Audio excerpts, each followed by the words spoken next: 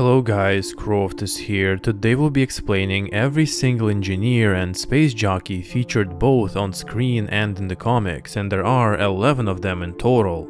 Throughout the Alien movies, various engineers appeared on the screen, each with a distinct role and mission. Interestingly, some of these figures were omitted from the final cut of Prometheus and can only be found in the Blu-ray edition.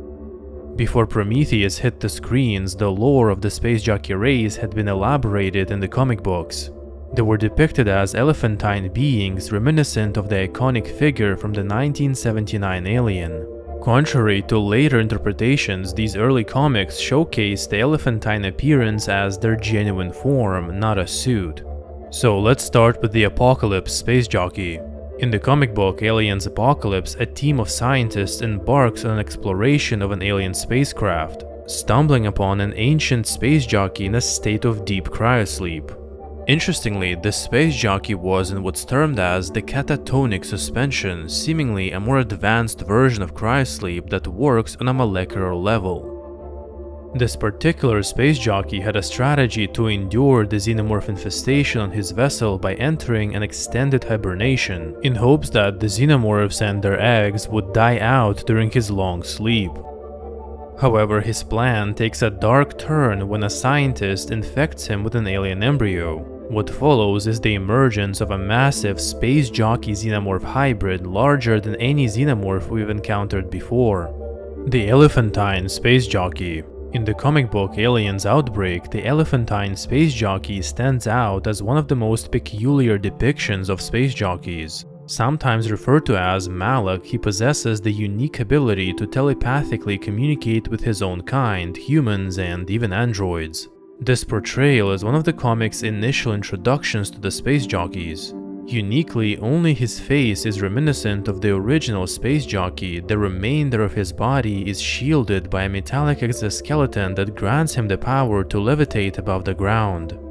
Contrary to some of his kind, he doesn't seem aggressive towards humans and even aids the colonial marines in exterminating xenomorphs. However, his assistance comes with ulterior motives. He helps Marines to survive so that he can pinpoint Earth's location for a subsequent attack. The original space jockey. The original space jockey is a fossilized pilot found by Nostromo crew in a crashed alien derelict on LV-426.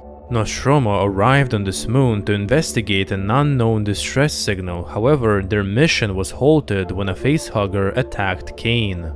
Another group of humans returns on LV-426 decades later in the game Alien Isolation to turn off the distress beacon. The enigmatic pilot of the alien derelict ignited various speculations and theories among the fans about its origin and the origin of the xenomorph.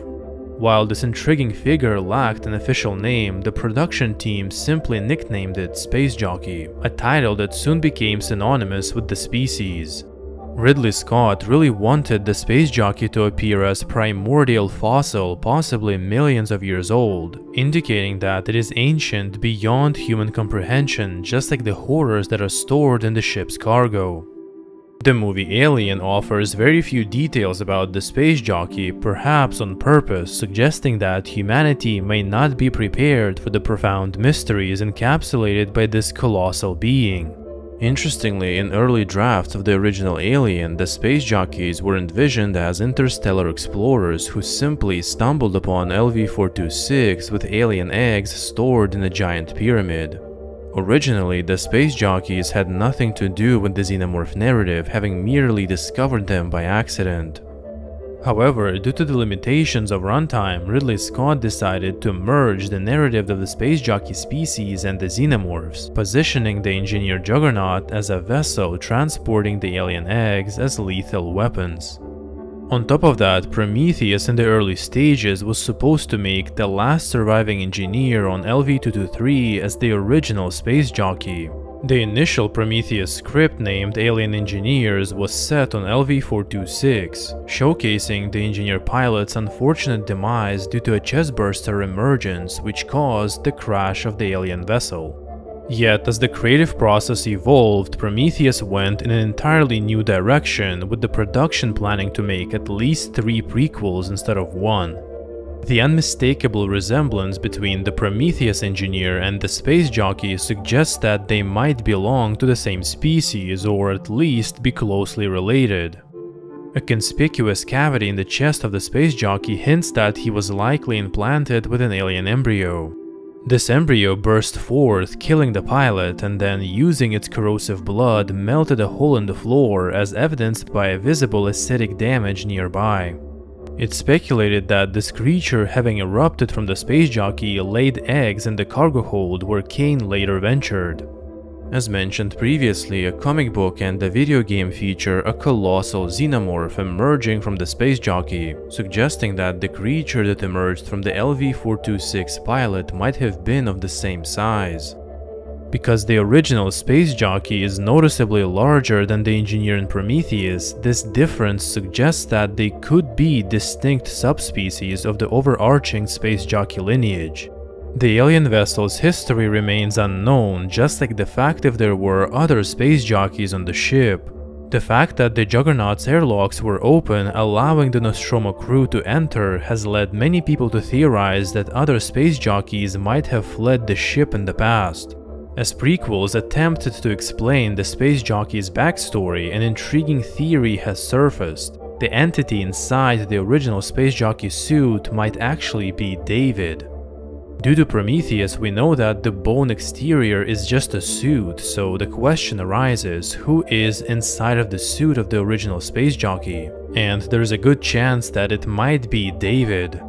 In Alien Covenant, the protomorph that David engineered lacks biomechanical traits, with David alluding to the yet-to-be-realized perfect design of his creation, some believe that he might ultimately serve as a host for the birth of the iconic xenomorph. Being an android, his body is composed of a mix of biochemistry and mechanical elements. Therefore, given an exceptionally adaptive nature of xenomorphs, if David is impregnated, this theory suggests that he might give birth to the original alien. The Elder Engineer the Blu-ray deleted scene introduces us to the Elder Engineer, who led the sacrifice ceremony to seed Earth with building blocks of life that eventually led to the emergence of humans. This character's distinct appearance, different from the sacrifice engineer and others, hints at his unique role. From the clues given, it appears that he was the High Priest orchestrating the sacrifice ritual. The early script reveals that engineers have lifespans stretching into hundreds of thousands of years. In Prometheus, the Elder Engineer, acting in his High Priest capacity, hands the Sacrifice Engineer an elusive substance, leading him to dissolve into foundational life elements, seemingly the precursors to humanity. The film leaves the nature of this goldish substance ambiguous, but the script unveils it as the blood of the first deacon, a creature responsible for the engineer's reproduction and birthing life on other planets. The deleted scene also briefly showcases two more elder engineers.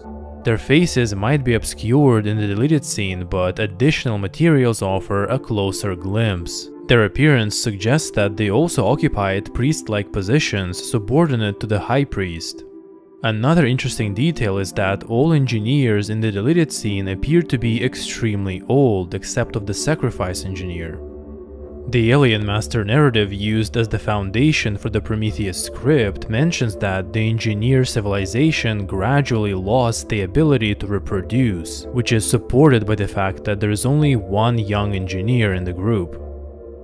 The sacrifice engineer is the next figure we encounter and his body becomes the foundational material for life on Earth. Notably younger than his counterparts, it's possible the engineer society selected their most genetically superior individual for this ritual. The engineers seem to have worshipped the deacon, a creature that kills its host, possibly indicating that the sacrifice is the essential belief in the engineer culture. The sacrifice ceremony mirrors various earthy sacrificial practices where an exceptional specimen is chosen for the offering. It's worth noting that the engineers at the start of Prometheus travel in a disc-shaped vessel, in contrast to the craft we observe in Prometheus, Alien Covenant, and other films in the Alien series. This distinction might imply that the engineers in the film's opening represent a religious sect, while others we see are more scientifically inclined. The LV-223 engineer, also called the Last Engineer, stands as the lone survivor of the pathogen incident in the temple on LV-223. Arguably, the most interesting scene in Prometheus centers around the awakening of this engineer, representing the climax of the film where humanity confronts its creator. This anticipated encounter, however, doesn't proceed as expected. In that scene that was ultimately cut from the final version, David, the android, successfully communicates with the engineer. In their interaction, Weyland asks the engineer for the gift of eternal life. But the engineer responds what makes Weyland so exceptional to warrant such a gift. While the deleted scene only showcases a short exchange, the early draft script dedicates 5 pages to an in-depth dialogue between Weyland the engineer and David, shedding light on the engineer's history and their reasons for deciding to eradicate humanity. And if you're interested in that scene, you might want to watch my video that dives deep into this conversation. It's also worth noting that the engineers introduced in Prometheus were largely based on Anunnaki, a group of Sumerian deities that according to ancient tablets came to Earth and created humans. At certain times in history, Anunnaki were also dissatisfied with their creations, orchestrating various catastrophes to destroy human civilizations. Having been in cryosleep for over two millennia, the last engineer was originally part of a faction set on erasing humanity. Fortunately, their inability to control the pathogen led to a devastating outbreak killing all engineers on LV-223 except this one. As mentioned previously, the opening scene of Prometheus depicts engineers wearing robes, hinting at a religious undertone. In contrast, the last engineer wears a unique biotech suit, perhaps suggesting his association with a scientific faction. This supports the idea that LV-223 was a scientific outpost where engineers developed a bioweapon, the Black Goo. However, early scripts and extra materials suggest that they were initially trying to replicate the blood of the first deacon, a substance known to create new life, however, they failed. And in their failure, they realized that they created something else, a dangerous pathogen that brings death instead of new life.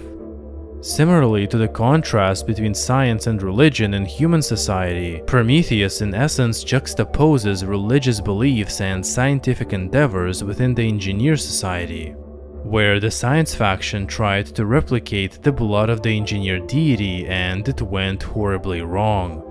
Just like engineers in the comics, the last engineer has a deep hatred for humans that stems from humanity's deviation from the desired path set by the engineers. Engineers also harbor a strong aversion towards artificial beings, leading the last engineer to destroy David. In contrast, engineers hold such admiration for biological creations that even their ships are partially alive and they possess a strong distaste for electronic entities like David. The last engineer, driven by deep hatred for humanity, attempts to finish his 2000-year-old mission to destroy all life on Earth. However, his plan goes awry again when the Prometheus vessel collides with the Juggernaut, halting his mission. The last engineer survives the explosion, and following a physical fight with Shaw, he becomes impregnated with the trilobite, eventually birthing a creature resembling a deacon. The precise nature of this being remains ambiguous. While the mural depicts a deacon worshipped by engineers as a deity, it is uncertain if the creature birthed by the last engineer is the same as the godlike figure from the mural.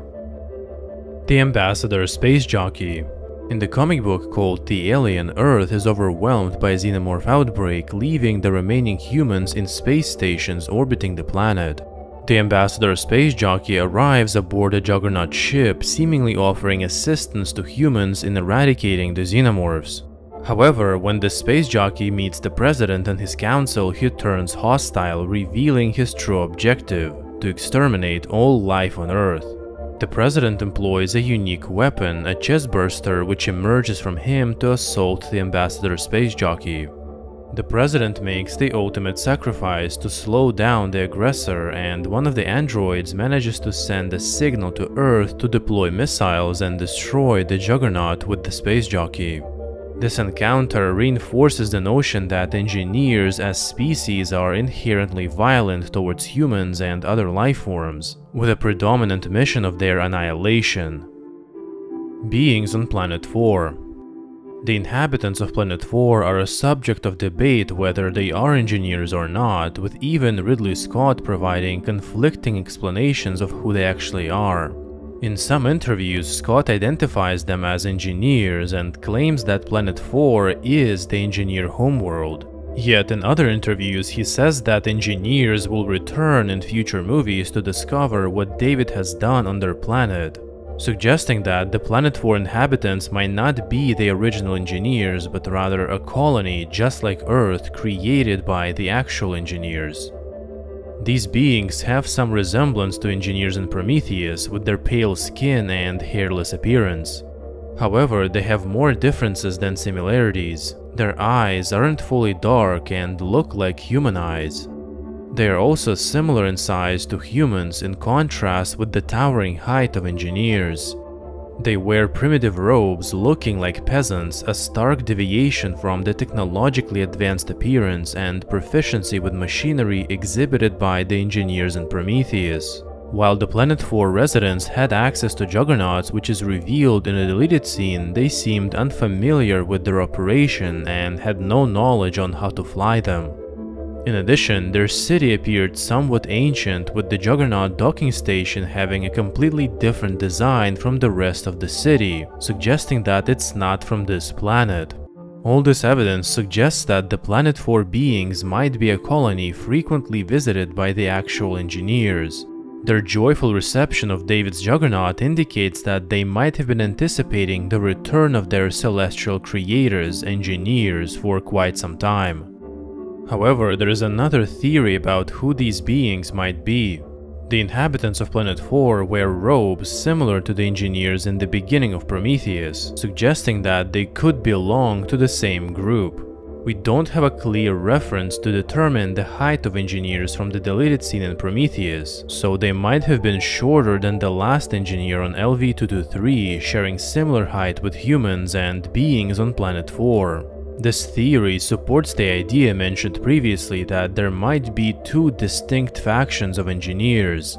One faction could be more religious, wearing robes and constructing stone cities like the one we see in Alien Covenant. Meanwhile, the group on LV-223 could represent a scientific faction driven by a quest to unlock the secrets of the universe through science and biotechnology, even enhancing their height with genetic engineering.